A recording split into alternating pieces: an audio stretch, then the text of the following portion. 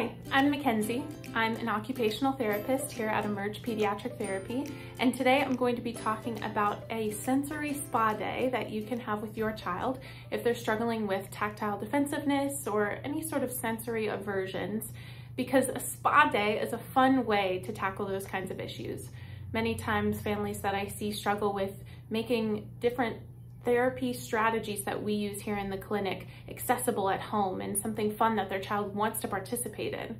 We're used to struggling with bath time or bedtime or even just to clip our nails. But if you make it a fun sensory spa day, there might be a little bit more of a chance that your child will be involved and engaged with you. So today I'm just gonna go through a lot of ideas that you can use to help your child have fun with you and pretend you're at a lovely spa all while working on all of the different senses, our sight, sound, touch, taste, every sense that we can address through some fun sensory spa activities. To get started, make sure that you have fun attire and a fun spa day look. You can do fun headbands if you're going to be doing face masks or washing your face. You can wear a fun robe. Um, I would encourage maybe doing some cucumbers over the eyes if you're at all interested in that and just having a fun time creating a silly, goofy look for you and your child to get into the spa day mood. With headbands and keeping hair out of the face, it's a great time to do face masks or you can do cool rolling on the face um, if your child is into makeup, you can do makeup together. You can keep those cucumbers on over the eyes. You can do lip gloss, all different kinds of spa day activities that help with us allowing things to be on and around our face. You can even start with something as simple as taking a wet washcloth and dabbing it on the five zones of your face and you can make it cold, you can make it really warm. You could even take an ice cube and put in the washcloth and say, can you feel the ice cube through the washcloth? And just start really small and basic, or you can move up to face masks like this, or like charcoal face masks that might bubble or harden, and how does it feel against our skin? And always make sure that your child knows how to get these things off of their skin. So if that face mask starts to feel uncomfortable, have a trash can nearby where they can take it off and put it in. Have a dry washcloth nearby where they can dry their face off. Always have a way out of the activity because that helps your child to feel more comfortable diving in. Also, along with my headband, you can do different things with hair. You can put in fun hair clips, pulling back hair in different ways.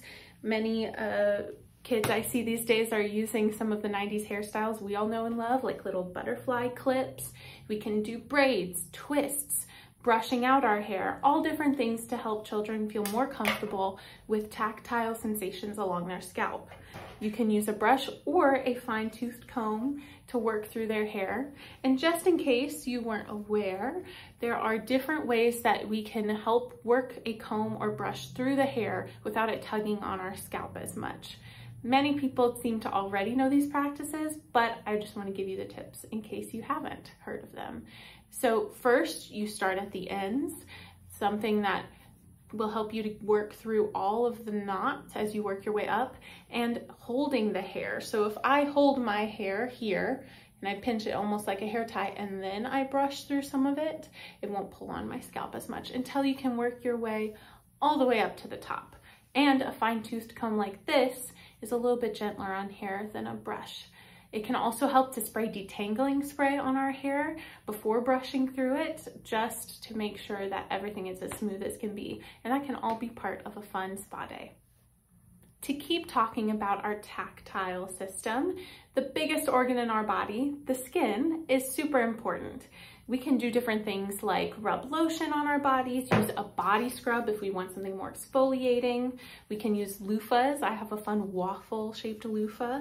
And something that I love to show families is this gel that is used in nail salons to frequently place our feet in, or you can even use it for your child's hands. You can order this off of Amazon. So what you do is you take this packet, it will come with two different pockets. Number one is this powder. I'll show you as I pour it in, that you pour into some water. And you fill this in with as much or as little powder as you'd like, and you stir it. And as it reacts with the water, it's going to become like a gel, thick-like substance. As you can already see, it's starting to solidify and become more thick. And if you put a lot of powder in, it becomes this thick, almost like kinetic sand-like substance.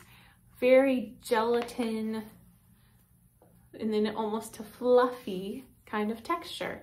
And this can be fun for your child to put their hands and feet in, to rub on your body. It smells really nice. So you're also activating that um, olfactory system.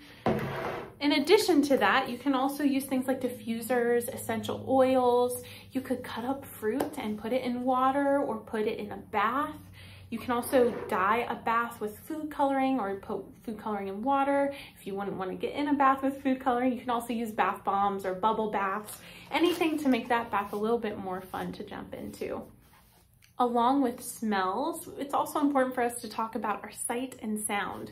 We can change the look of the room, we can make it darker, we can add candles, we can also play music, see what different kinds of music your child would like to listen to. Do they respond well to spa music, the typical spa kind of music? Do they want classical music? Do they respond better if you've got Kidz Bop playing and that helps them to relax? Helping their bodies explore what feels good and what doesn't is also really important because we also have to take time to reflect on what we're feeling and not just letting it happen to us. In addition to all those other senses, it's also important for a lot of my families to clip nails. Having a spa day and having it under the guise of something fun can be a really great way to introduce your kids to that, especially if you've already played in the bath or used that gel from the nail salon because their nails will be a little bit softer. You can introduce nail files going back and forth. You can use little tiny nail clippers. We can also use nail polish or stickers that go on the nails if nail polish or even clipping our nails is a little tricky and a little scary. Something that I really like to let kids do is clip my own nails and let them see how the nail clippers work. And then I will tell them, okay, we'll do a little teeny tiny clip one little clip. Where do you want me to clip it? Which nail? And I'll show them how it doesn't hurt. They don't feel anything when their nails are clipped because many times they're worried that it's going to be painful, especially if they're really sensitive to a lot of tactile input. Another sensory system that we haven't talked about yet is our taste. We can also address this through our spa day and make it a really good opportunity to explore new foods or to bring comfort while doing all these activities.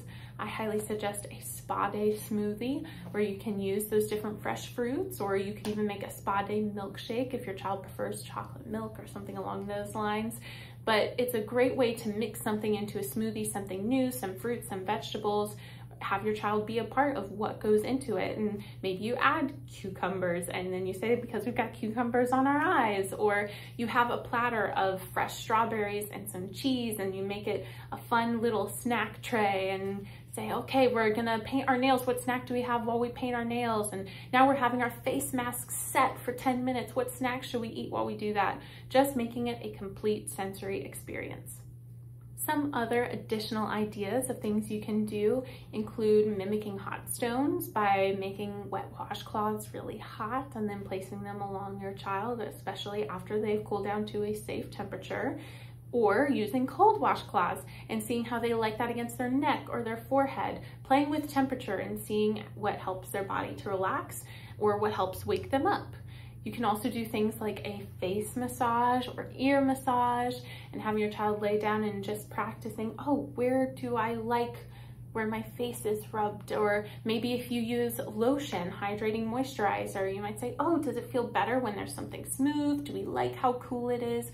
And with all of these things, especially with touching and clipping nails, it is really important to allow your child to do those things to you as well because it shows them that it's safe and that it's comfortable and it allows them to explore that activity and that sensation without it happening to them.